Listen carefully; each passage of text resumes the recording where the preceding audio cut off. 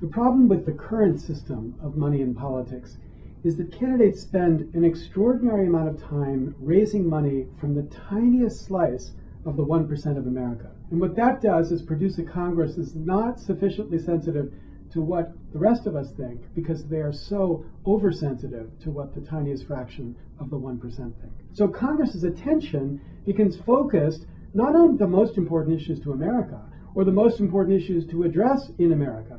It gets focused on the issues that flush the most money into the campaign funding system. In the first quarter of last year, what was the number one issue that Congress spent its time dealing on? Right, we're in the middle of two wars.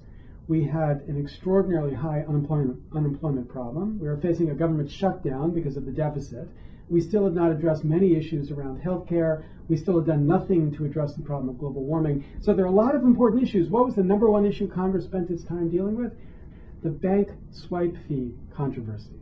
The question when you use a debit card, whether the banks get to uh, charge more or the retailers get to pay less.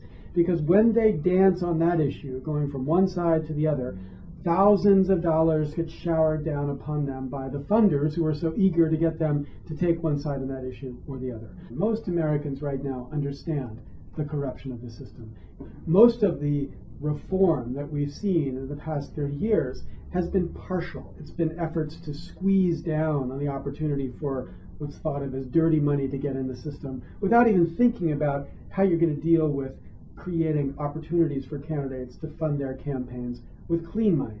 Sometimes my wife and I will be driving with our three young kids, and they'll be very loud in the back of the car. And my reaction is to turn around and say something like, Stop it, or Here's the rule, you have to be silent. But her reaction is to turn around and give them something to do, game to play, or some book to read.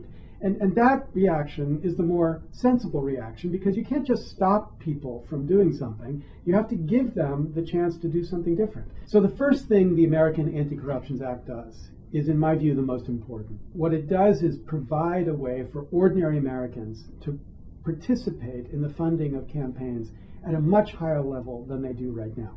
So by using a tax credit, to essentially fund a voucher. It makes it possible for campaigns to be funded by the wide swath of Americans as opposed to the tiniest slice of the 1%. So we understand this is an important issue. We understand it's going to be incredibly difficult to fight it.